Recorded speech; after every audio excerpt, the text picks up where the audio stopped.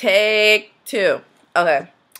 This is my second try. Let's see if this one works. Hi guys, my name's Christine. I just finished doing that other video, the tutorial-ish. Not really a tutorial, more like I wanted to show off my face. Because, you know, sometimes you just wake up in the morning and you really enjoy your face, right?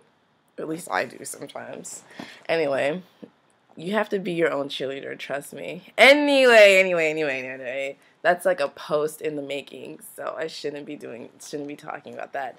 Um, I wanted to introduce myself. I'm gonna keep it short because no one wants to watch a five minute introduction. It's pretty redundant. Um, I can make it happen, trust me. Anyways, let me stop playing with my hair because I'm getting too distracted. Um, my name is Christine.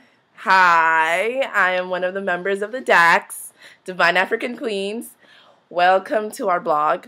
Um, I wanted to welcome you here. Enjoy yourself. Please read through our stuff, look through our pictures, read our posts, comment, like, subscribe, follow us, react. There's so many things you can do. We really want it for the followers to be, not even followers, our friends.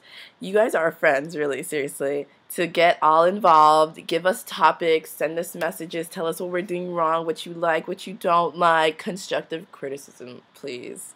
Anyway, um, so yeah, please interact with us. It's gonna be a wild ride, trust us. There's five beautiful, divine African queens running this blog. That means five different personalities, five different talents, five different emotions, five different hormone levels.